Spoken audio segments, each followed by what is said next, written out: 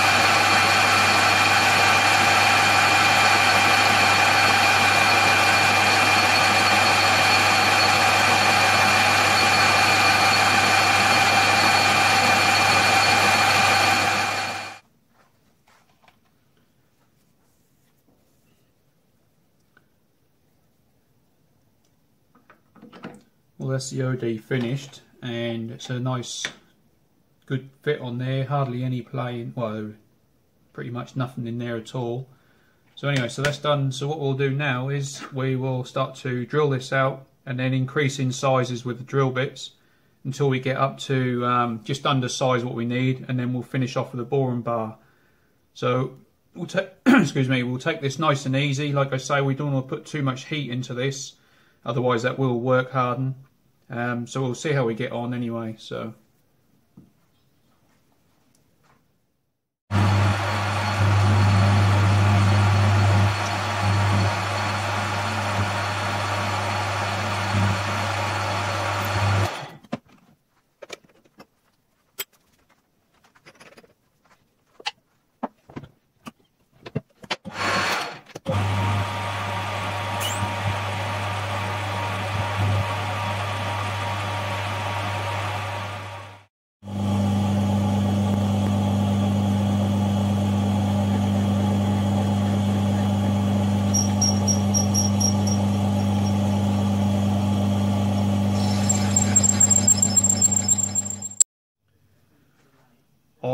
Take this out to, I'll bore this out to three quarter inch or just slightly under three quarter inch. And then I'm going to finish off with a hone because obviously even using the boring, you know, boring bar on, on a slow feed, it's still going to put like a series of lines in here. And if I left it like that, once you put the piston in with the silicon O-ring or um, Viton O-ring, it's going to wear the O-ring out quick because the cylinder isn't smooth. So we'll hone that after we've um, bored this out.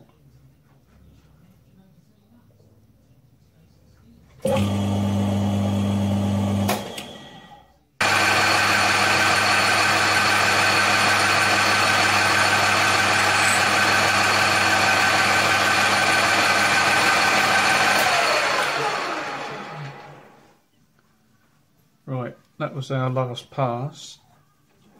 So we'll just clear the oil and the chips out and then we'll have a measure of the ball and see how close it is to what we actually need.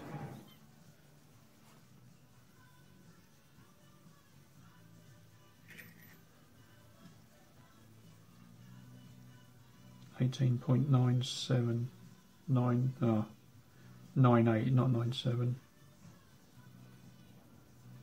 18.98 so that's 0.01 difference between this end and this end. So um, that's really good. So I'm happy that. That's less than a thou. So from that distance there you know that's going to be ideal. We'll just check it again though.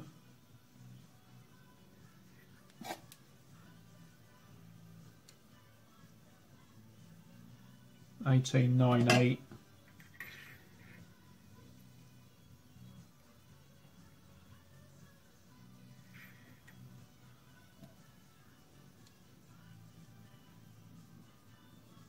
eighteen nine nine, eighteen nine eight, eighteen nine eight. Yeah, so spot on. So that's what we need. So what we'll do now is um, I'll just set up the hone.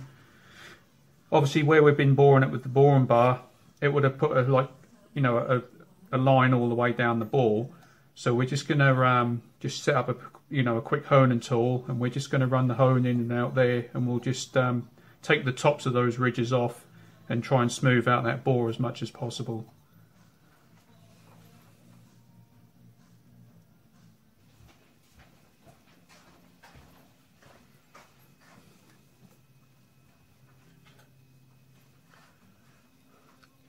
So after posting on the YouTube uh, Machinist forum, I had a look and asked, you know, some questions about how or how is the best way to um, hone this cylinder out.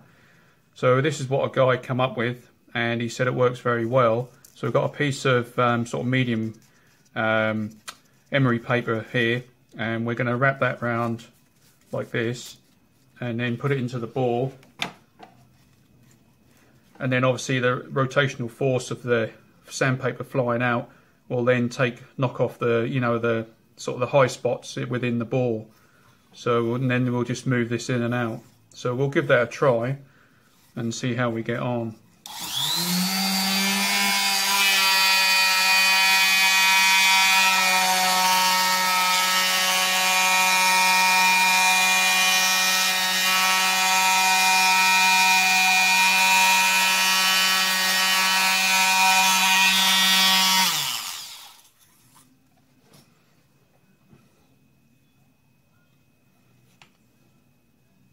Actually that's working pretty well. I can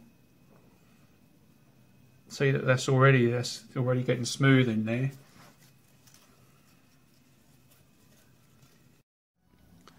So that's the cylinder liner all complete and as you can see in there we've got a nice finish nice smooth finish so that should help with the longevity of the o-rings Plus uh, the engine's going to have an oil feed into the cylinder as well, so that's going to also help with the O-ring life. So anyway, we can now slip that into the block. So we've got a nice fit into the block, nice and tight fit. So yeah, happy with that. And it's now time to move on to the piston. So the piston, we're going to find that somewhere in this block of aluminium. I don't know what sort of aluminium it is. It's probably just normal extruded alley, um, nothing special. It does say um, people who I've sort of you know talked to they've used 6061 which is a harder version of the aluminium. But I think the engine's so small, it's going to be well lubricated, it's not going to have a huge amount of running life. So, you know, this normal piece of aluminium should be fine. So anyway, let's see if we can find a piston in there somewhere.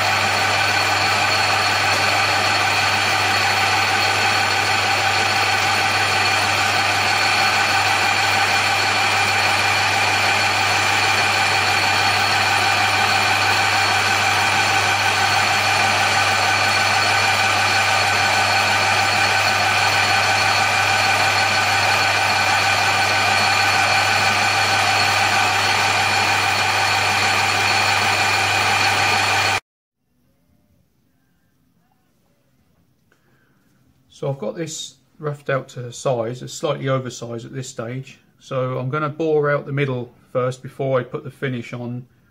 Um, so it says in the plans to use a end mill and then bore down to one inch.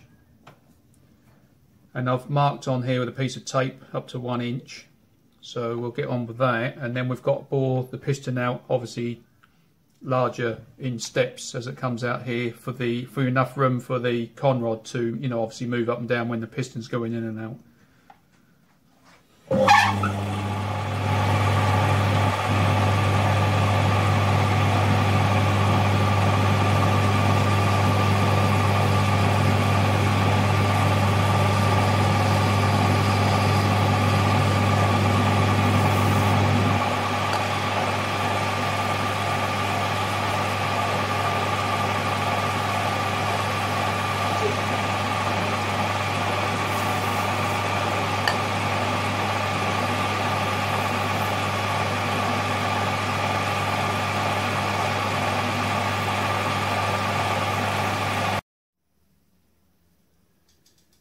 Finally received my O-rings for the piston rings. I'll just get a couple out. So this is what we're going to be using instead of traditional um, piston rings. So these are going to be thicker than the original piston rings. So what I'm going to do is I'm going to use the first dimension from the start of the piston to the first line, um, which is 93 thou for the first O-ring. Then the second O-ring I'm going to sit in a bit deeper, um, simply because the O-rings are thicker. So I've just have to move those across a bit. So what we're going to do, I've spoken to the O-ring people and also had a search on the net of people who've actually used these in engines.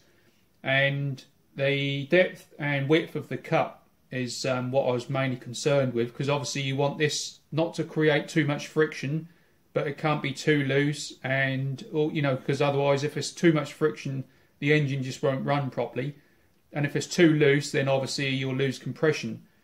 But also, I wanted to make sure these are okay and in the right position, so I don't get too much wear, you know, and just destroy them within a couple of runs. So that was another reason for getting the dimensions. But the dimensions, what I've got, um, we've got a groove depth of 55 thou, which is about 1.4 millimeters, and a groove width of 95 thou, which is about 2.4 millimeters. So that's what we're going to go for. So we'll hop onto the lathe and we'll get those cut.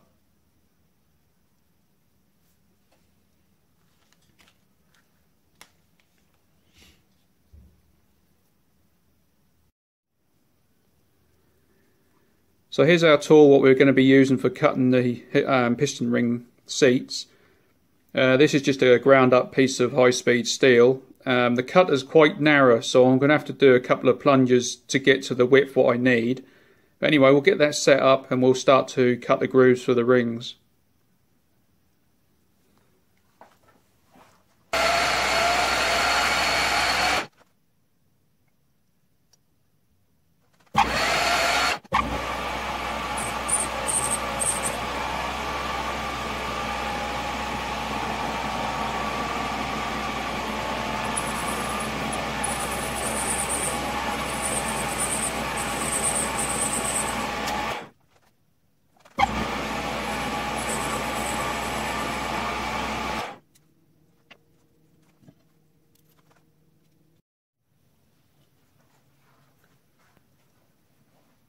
Don't think I'm going to part the piston off here at the moment. I'm going to take all this out and uh, put it in the mill because I've got a machine down into the piston.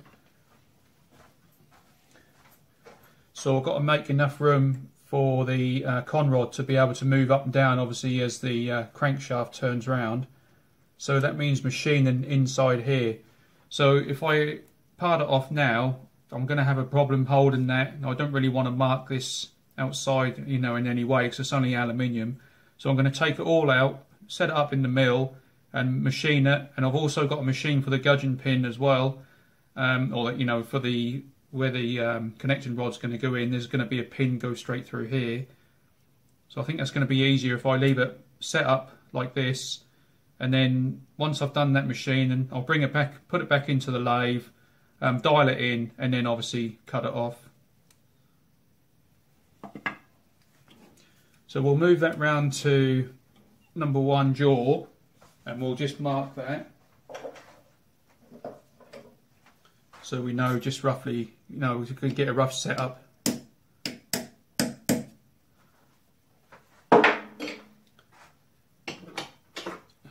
So if we now undo number one and two, and then we'll get it set up in the miller machine.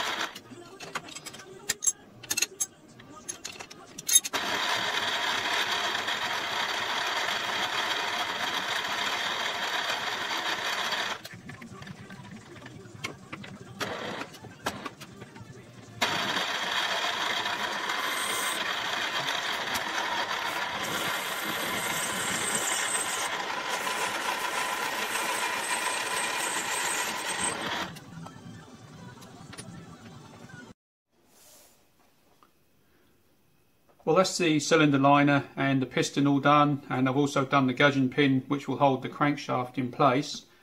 So I'm going to do a dry fit of everything now just to make sure you know everything's going to work before I carry on with the next things. So I think what I'll do first, well I'll just put the O-rings onto the piston. We'll just give them a little bit of oil just to make them slip on easier.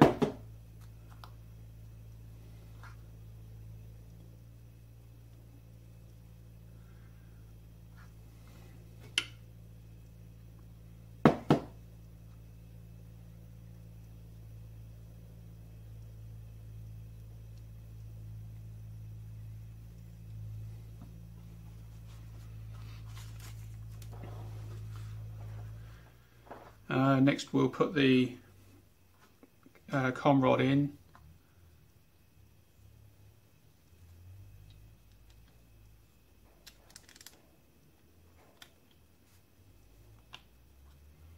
So that's a nice tight fit.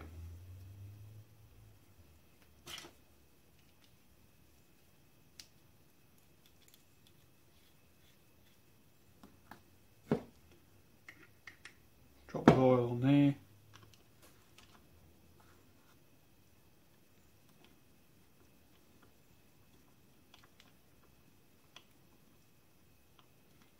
wrong way up.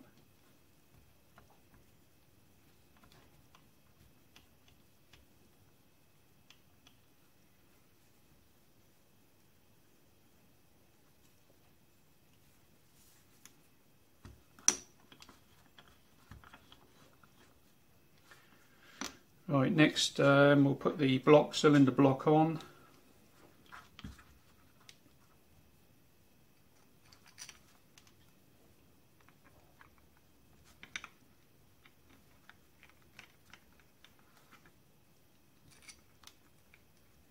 No, not like that though. Put the piston in first, I think.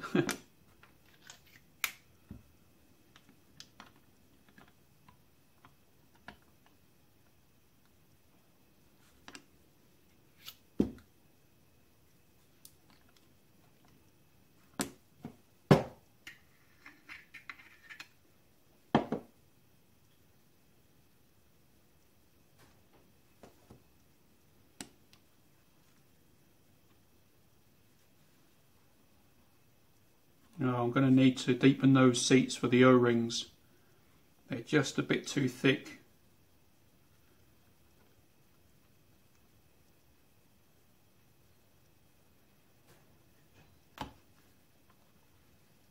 Oh no, no they're okay.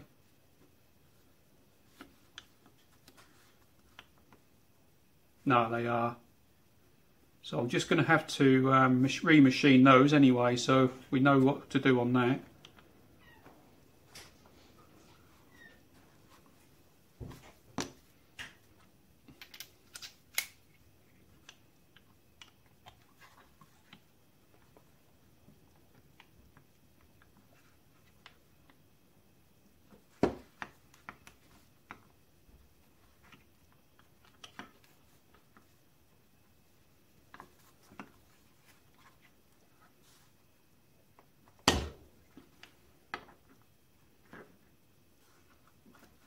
Right now we can screw the block on.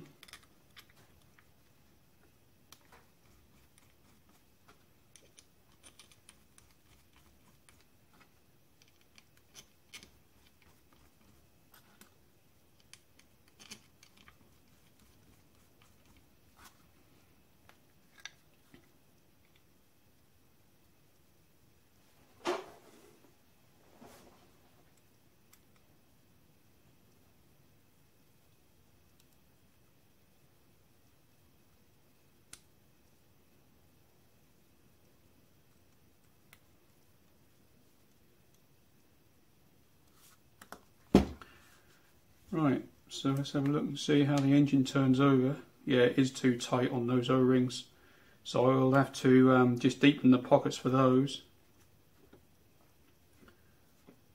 But apart from that, we're all good. So yeah, so everything's working nice. Got nothing was hitting, so that's good.